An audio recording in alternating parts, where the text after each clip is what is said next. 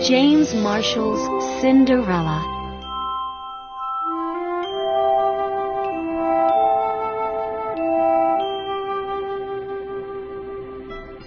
Once there was a widower with a kind and beautiful daughter. Life was sweet in their simple cottage until the widower decided to remarry.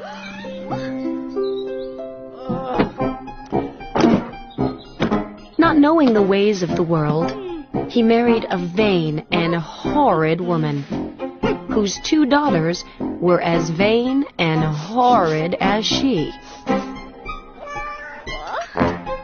What a stupid little house, they said. The widower's daughter was made to work like a servant in her own house. She was soon run ragged. Washing, ironing, scrubbing, dusting, and cooking heaps of food.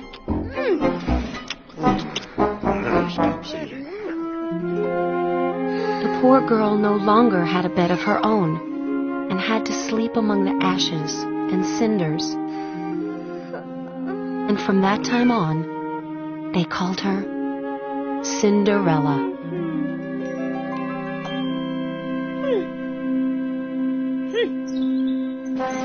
Now it happened that the king of the land had a handsome son. Hmm. The king's greatest desire was to see his son married. He decided to give a ball and invite all the fair maidens of the realm. When the king's messenger delivered the royal invitation, the dreadful stepsisters were overjoyed. Each was convinced that she would win the prince's favor. On the day of the ball, Cinderella was exhausted from trying to make her stepsisters look beautiful.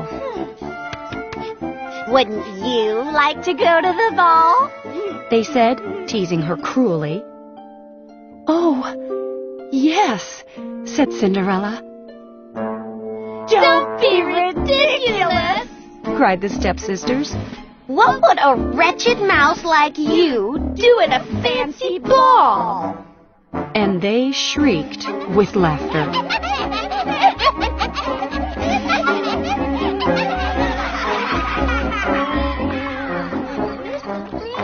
Thinking themselves beautiful beyond words, the stepsisters left for the ball. Don't be a lazy bones while we're away. They said to Cinderella. And think about all the fun we'll be having.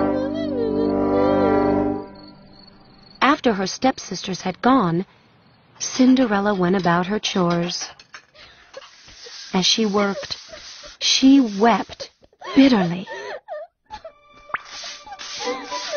You look so miserable, child, said a kind voice. Who are you?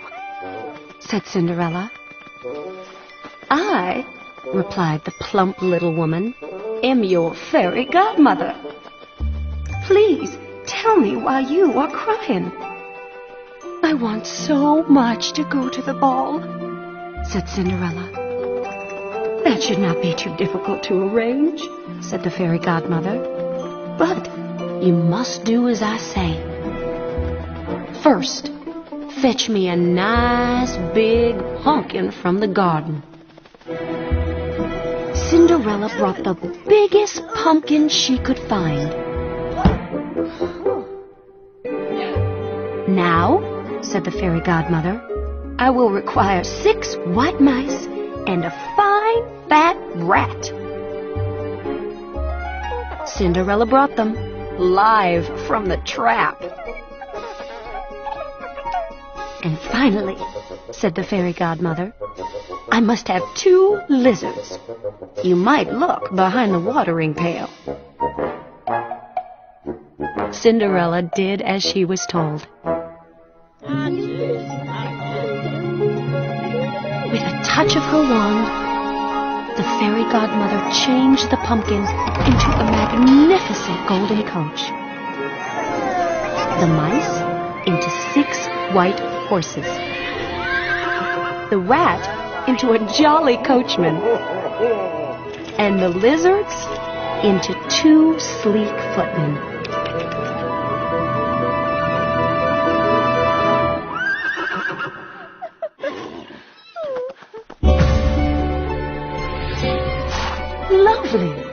The fairy godmother exclaimed.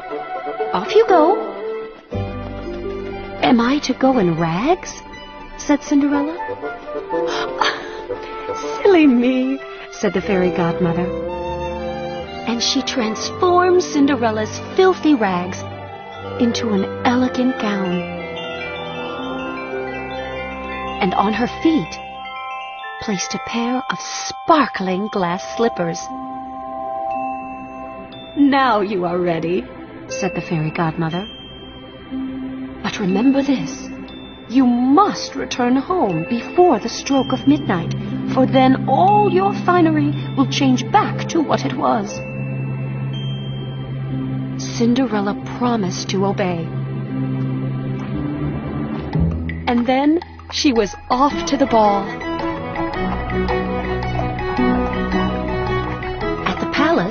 The prince learned that an enchanting maiden had arrived, and he greeted her himself. The other guests were puzzled. Who was this beautiful stranger?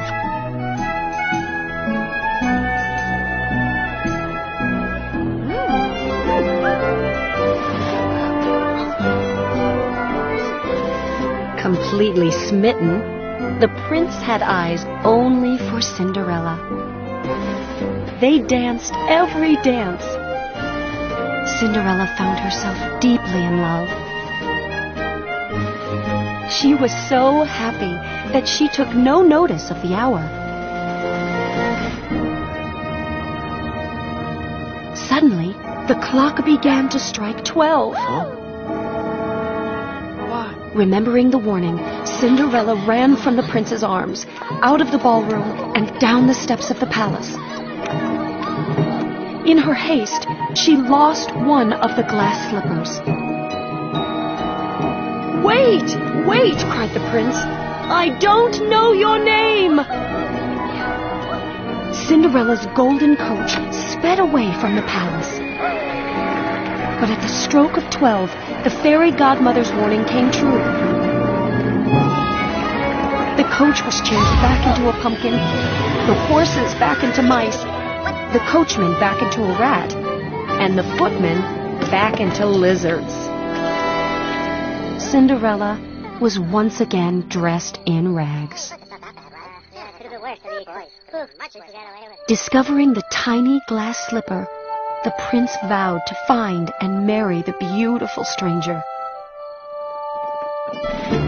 He traveled the kingdom far and wide, trying the slipper on every maiden's foot.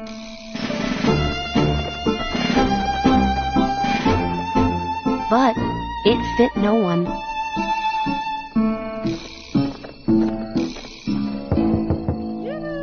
Finally, he arrived at Cinderella's house.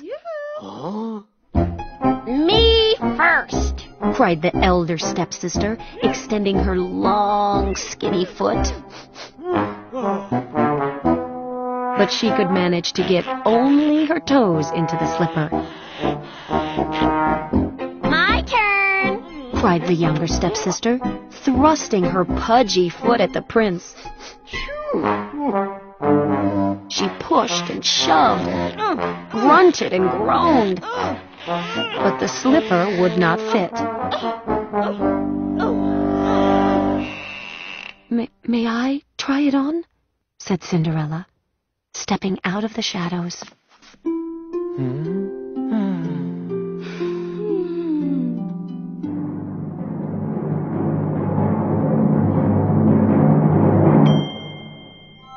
The glass slipper fit perfectly on Cinderella's tiny foot. I have found my princess, cried the prince. We shall wed tomorrow.